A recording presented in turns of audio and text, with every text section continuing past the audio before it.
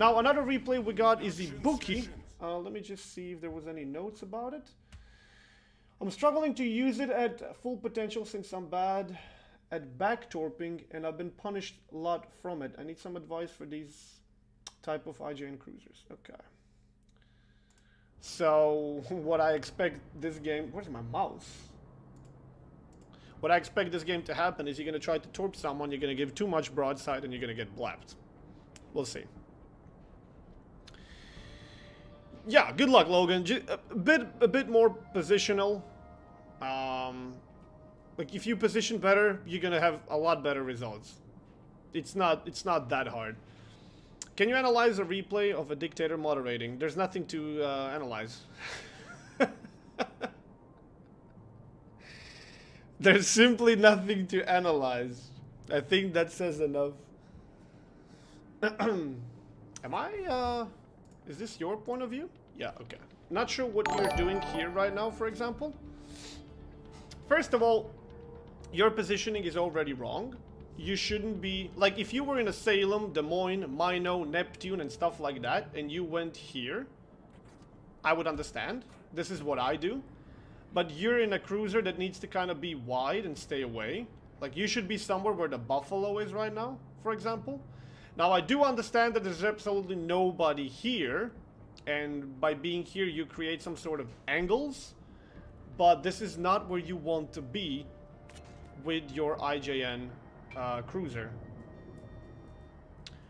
Okay, you're gonna drop some torps, that's fine. Let's see where. I would drop it there and there, or there and there. Okay, good. How do you send replays? Uh, on my Discord server, you have a room which is called uh, Share Your Replays. You can leave your replay, you can leave a small description, and note that it's for replay analysis. You're going in the middle of the map, by the way, with a very, very squishy cruiser that doesn't have fast rotating turrets. It doesn't have really good torpedo angles. It doesn't have good armor. It can't bow tank. You have a hydro, sure, but... And you don't have a fast reload. You do not want to be in the middle of the map. Uh-uh. I don't know if those torpedoes are going to have range, but they could potentially do something to that Roon, which would be a nice start. And right now, for example, you're not doing anything.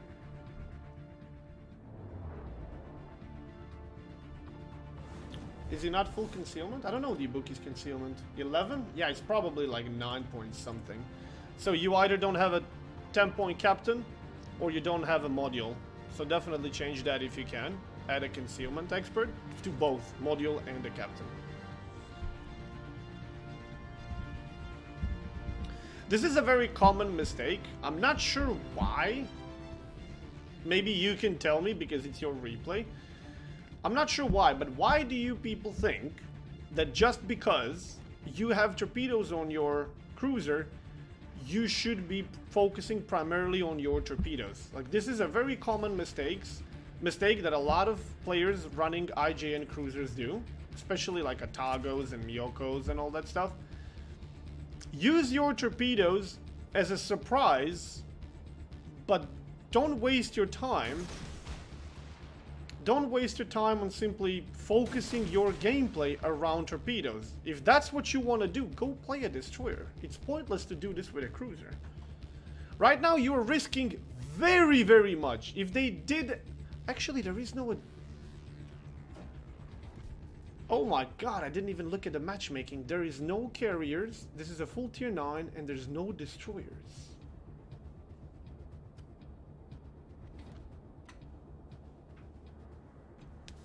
Okay. Okay. Okay. So if you were full concealment build, you and you are a bit crazy, you could have tried to go for some caps, for example, and that wouldn't be a bad idea. 1, 2, 3, 4, 5, 6, 7, 8, 9, 10. 10 out of 12 ships are detected. All this time you spent here, all this time you spent here, you could have easily have gone into B and cap it. Maybe. I don't know if where the, the last two ships are, but you could have done that. Instead, you're just going forward, backward, forward, backward, and launching torpedoes. That's... It's not a lot of point while you should be just sailing around here and farming this Jean Bart and stuff. Just saying. Gold Rhino, thank you for the sub. Welcome to the team.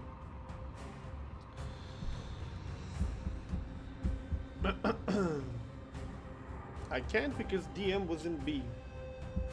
1, 2, 3, 4, 5, 6, 7, 8, 9, 10. Well, like I said, two ships are still not detected. But you, you shouldn't be in this position to begin with. This is a bit of a weird matchmaking when there's no destroyers. Yeah, see, you could have done like 15 of those kind of volleys by now. You're lucky you were in Citadel there. You have 12,000 HP, uh, 12,000 uh, damage when you could have had like between 50 and 100k by now. Oh, that potato. Get back. There's Donkey. Strength of IJN cruisers that do not lie in their torpedoes. It lies in their heavy alpha damage on HE shells and good fire chance. You smack someone for like 7-8k and you set them on fire and you destroy some modules. They repair, you do it again. They don't repair, they just burn. Torpedoes are there just to help you surprise someone, get additional flood that you can follow up with a fire.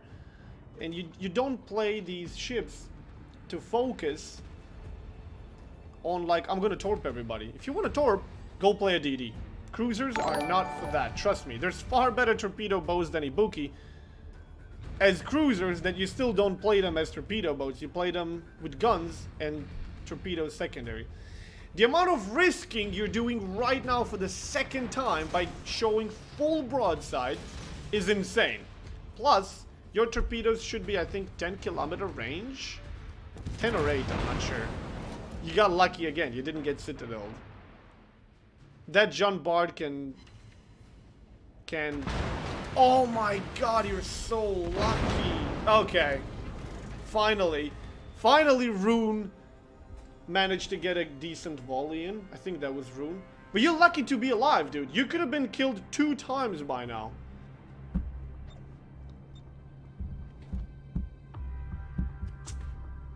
I'm just not gonna I'm not gonna repeat myself every three every three minutes, but you shouldn't be in this position. That's very lucky, like very lucky. From all those broadsiding positions and shells, he only got punished once.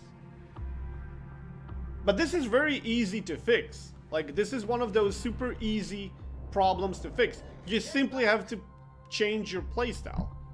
Focus on guns instead of torps, don't play it stationary, play it maneuverable. Done. You would have like a 100,000 damage by now. Or at least 60, 50, I don't know. Depends how, how often you would be in a position to actually shoot. And you could potentially have more HP than you have right now.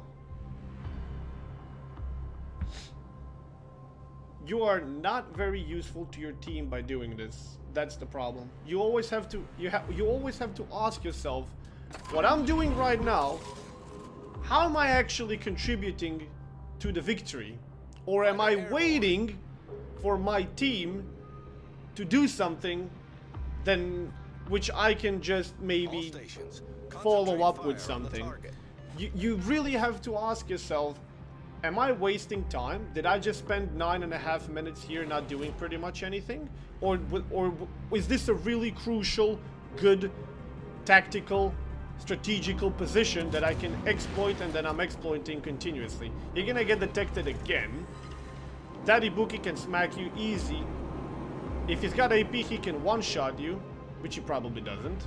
But if he had HE, he could do like 5 cannon fire, no problem. See? What happened to him could happen to you. Is he dead? No, missed. Okay. As I understand IJN CAs, I stay backline at the at almost max range and maneuvering to dodge. From my experience, that is the best way. Yeah, that is pretty much the only way to play these. I don't like staying all the way in the back, but you have to with them. That's just the way to do it.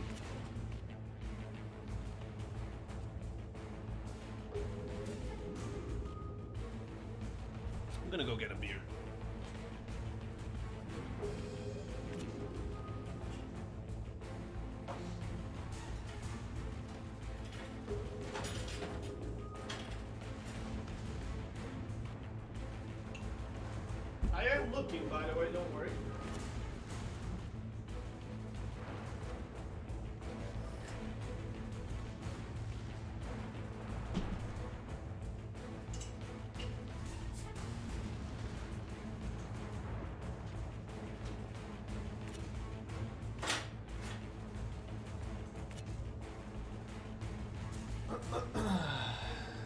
Get me one too? I'm out of beer. I have one beer left and I have no Ruddlers. I have to return all the bottles and buy a bunch of new ones. Yeah, there's not really much more to say. I don't know how long this battle is gonna last, but it looks like it might be a full 20 minute battle unless you get killed. And you simply have to change your focus. Like your focus is completely wrong. You're basically trying to play this as a destroyer that I don't know, instead of scouting prefers to Fighter be hidden. Airborne. And you're waiting for something like this to happen. Which sure, it's oh she could blow you up in one go right now.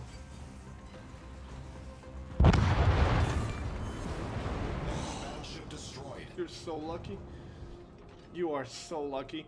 When things like these, when situations like these happen, yes, sure, it's nice, it's juicy, you just got instantly 50,000 damage and a kill, yes. But it took you 13 minutes to do it. Even with never scoring these torpedoes only by playing with your guns, you could have twice as much damage by now. No problem. And still, still maybe get a situation like this happening. Nice work. The amount of lucky moments in this battle is insane. Yeah. It's gonna be fucking hilarious if this Jean Bart takes its sweet time. This, this battle is actually pretty laggy. And he gets to torpedo him too.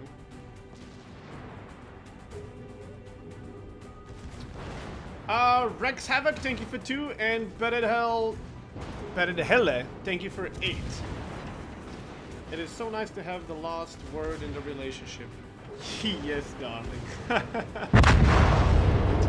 that ran. Oh, what a clusterfuck this is. It's so nice to have the last word in the relationship. Yes, darling.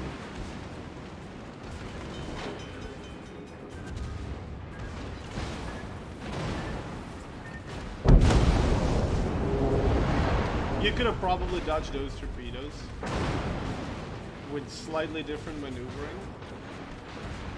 I don't know how this battle ended, but this is a pretty, pretty big, like, it's a clusterfuck. I understand that there's no destroyers, so this battle had a bit of a different um, combat rules so to say. But still, like my advice to you would be stop playing with your torpedoes if you're a cruiser and start playing with your guns. Stay on like 15-ish kilometers and just HE spam everything. And when you do get a chance, follow it up with torpedoes do not broadside and get a concealment build. It's gonna help you. Yeah, I mean, it's pretty simple. I, I don't know what else, I don't know what else I can tell you besides this.